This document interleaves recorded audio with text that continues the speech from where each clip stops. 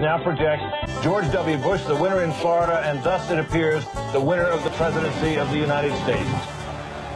No.